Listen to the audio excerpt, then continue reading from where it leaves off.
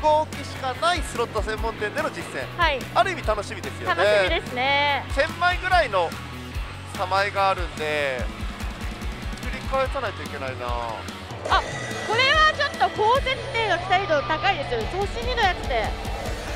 え文太だ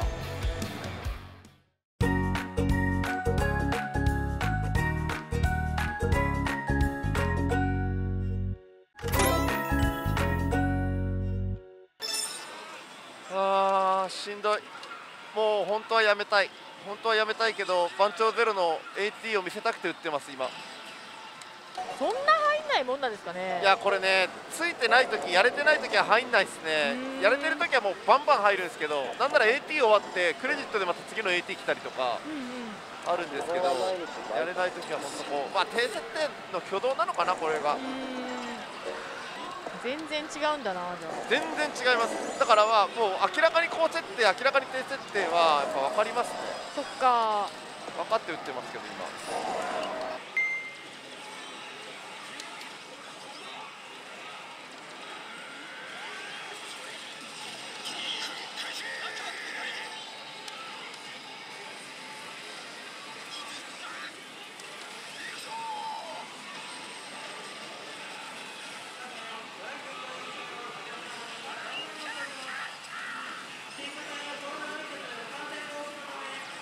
タクソンカルタ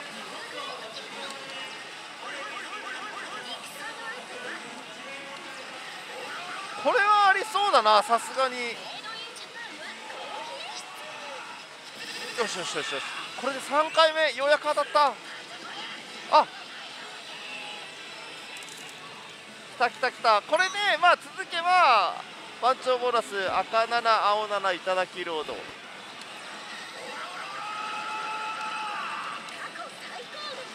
愛の教育的指導的なあれですね。とりあえず当たりは確定しました。さあ続け。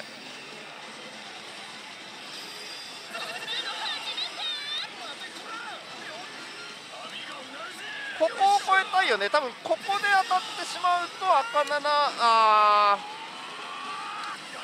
ー。青7欲しいけどなあ青になった。よし。青7引きました。おそれはもう。これはもうそういうことですよお前頑張ったなここまで。よしチャンスをやろうと。こっからですよ。ああいいですね。青7と赤7の違いをお見せしましょう。青7だと何パーぐらいあるんですか？青7だとねかなり高かった。ちょっと待って。とりあえず轟きで80パーぐらいあるんですか？ああ75%だ。おおそれはも期待度75%ですけどちょっとこれまあ見ていただいた方が分かるか。あのこの小さいナビでもうポイントもらえるんで結構ね上がっていくんですよ。かなり厳しい展開なんでねようやく迎えたこの青7のチャンス。これを生かせなかったらいよいよもう今日は終わりですよ。絶対つなげてみせます。よしよしよしよし。いい感じ。いいよレア役も引けてるこのタイミングで。これでもう緑だもんね。あと12ゲームあるまだ。パンダ狩りまで。これレインボー行きますわ。多分。もうレインボー行きますわ。やった。決まった。確定しました。いただきロードついに。ついに。いやギリギリよ。もうね残り時間本当あと20分ぐらいっていうところでしたんで、うん。ちょっとこの AT 取り切るまで打たせてもらっていいですか？はい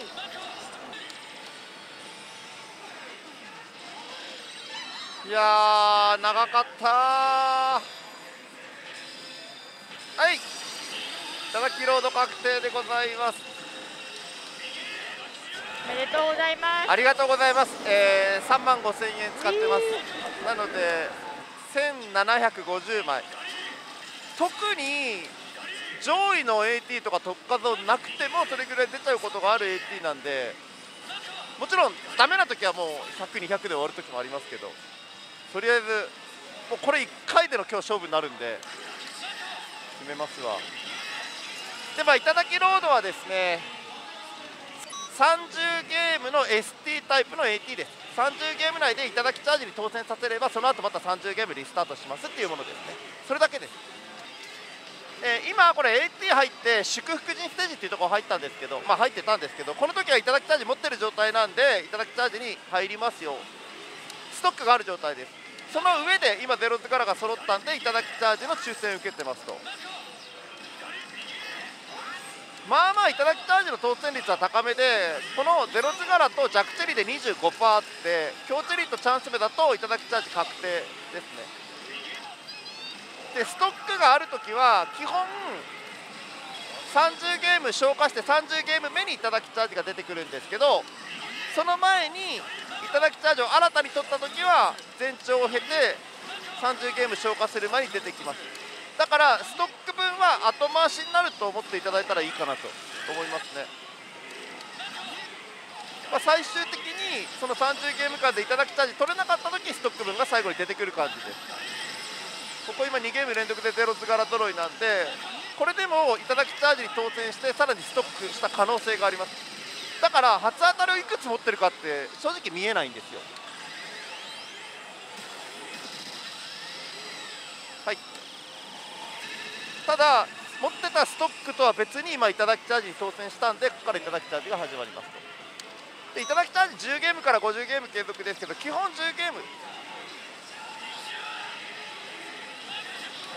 でこの頂きチャージの10ゲーム間は10ゲーム中にチェリースイカあチェリー弁当箱をゼロ図柄チャンス目。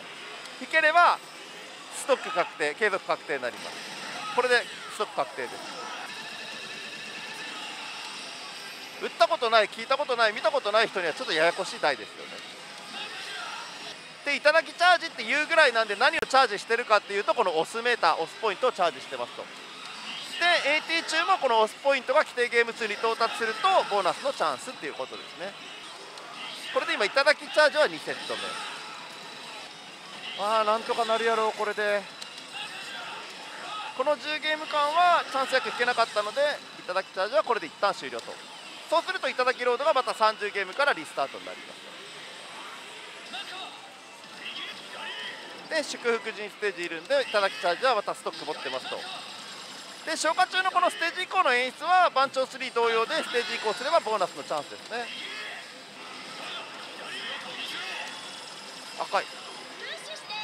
あったいただきチャージ。でいただきチャージ取った時の青黄色赤っていうこの背景の色はいただきチャージもレベルがありますよ。レベル高い方がいただきチャージ中にこのゼロ図柄が出現しやすいので継続しやすいですよってやつですね。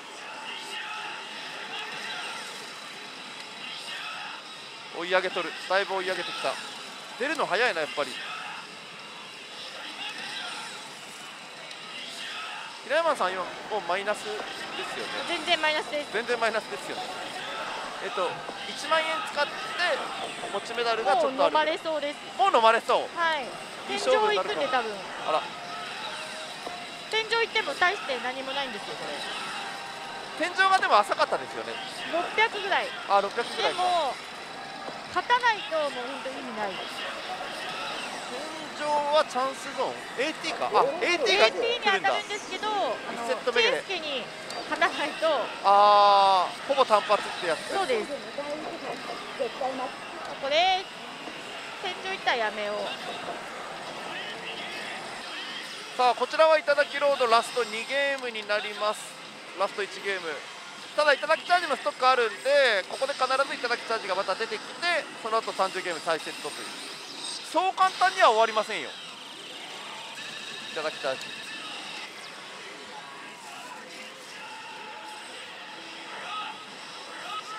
で NT を伸ばす、まあ、最初のポイントになるのはやっぱりこのいただきチャージを4回4セット目まで継続させるっていうところですかね。そしたら4セット目の初期ゲーム数は最低20で20から50になるんで。そこが結構ストックをできるポイントにはなります。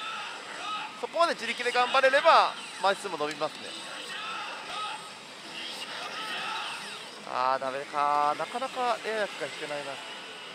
さあいただきロード再び30ゲーム再セットです。ああー飲まれちゃった。あら。でもすごいな。600枚で500円回すすごいですね。恋持ちいいですおね持ちいいですよねもうあと追加投資も知れてますもんね。そうですね。あとちょっと入れてで多分ちょろんと出てくるんで。ちょろんと出てくる。したらちょっといや大伸びるかもわからんよそれは。いやーこれ入らないんだよなって。でも継続したら結構期待できるんじゃないですか？継続したら上位の AT 行くんで。あーじゃあチャンスはありますね。5600枚出るかなっていう。頼むぞー。よし来たいただきチャージ突入です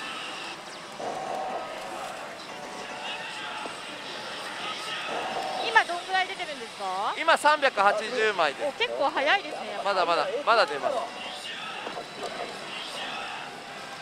いただきチャージ中にチャンス役引けないのきついな。ほとんど1セットで終わらせてしまってますもんね9ゲーム目ああここも1セットこんなんじゃないんですよ。もうちょっと23セットぐらいまでポンポンいくんですよ。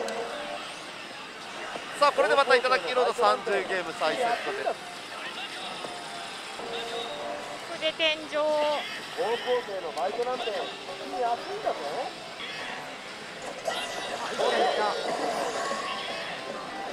これでお互い天井食らったってことになるな。まあ勝てないでしょう勝てればラッキーぐらいの。おなんか引いた。おお勝ったかもしれん。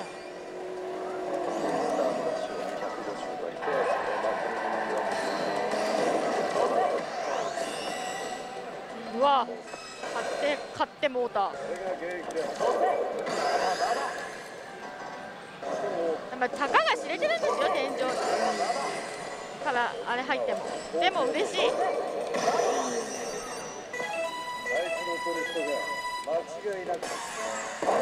ああボーナスだしかも。エピソードきた。だここのエピソードでもう一回ボーナスを引ければ引ければだって引ければ匠覚醒に入ります。追加2000円ですね。1万2000円。決まったぜ。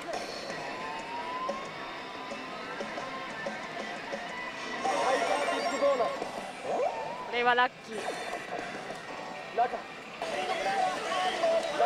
いやー全然ダメでした終わりました？終わってしまいました私入りました。入りました。継続しましたよ。おーすごい。じゃあ結構伸びるかも。ボーナスきました。ええ天井からの AT 中に？そうです。やば。でもここでもう一回行かないとダメなんですよ。エピソード中に。えそんな難しいの？難しいんです。でやっと匠覚醒聞いて匠覚醒でも10ゲームとか普通にあるんですよ。上乗せ10えそんな順当も低いのに10枚しか乗らないのにそう10ゲームでハードルも高い。そうなんですよ。何が面白いの？いや面白いんですよ。あ乗った乗った。10ゲーム乗りました。でも2セット目に行ったってことは、そうですね。あの多分天井の恩恵はもらえるんでなんか多分 AT いいやつに行くはずです。すごいいいところでボーナス引けたってことですよね。109枚ソードいきます。あー。あ20ゲーム。あもう終わりましたエピソード。で2セット目？はいでレジェンドラッシュ。匠なんで画面が。そんな多分そんなだと思います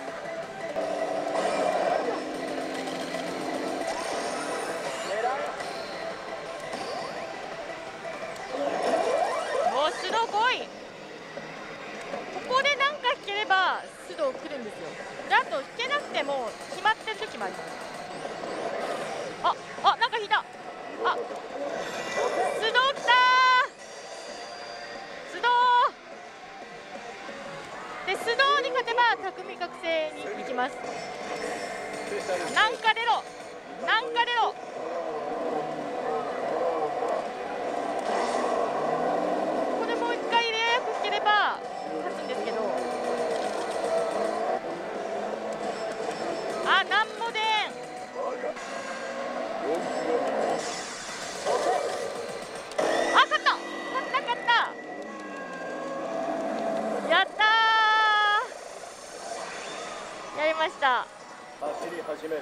から伝説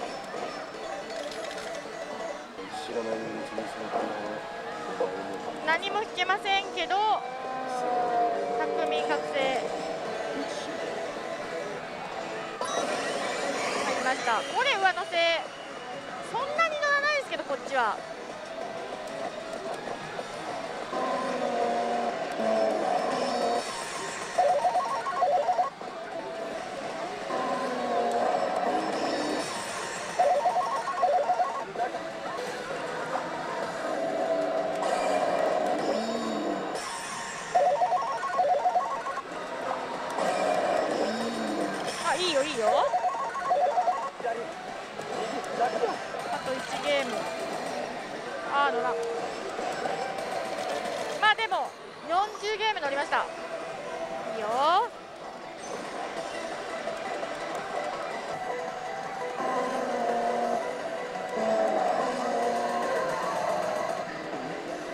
お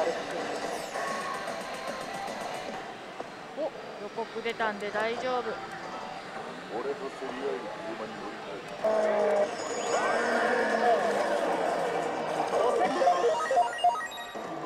いいい音。もうちょっとで取り返せそう。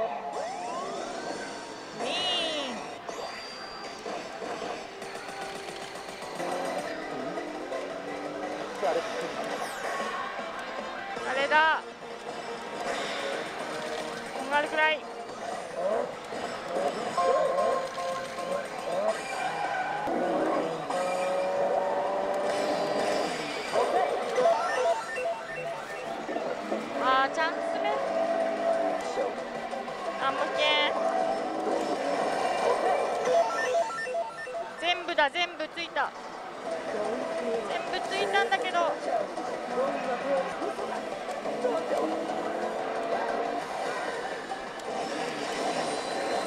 やばい。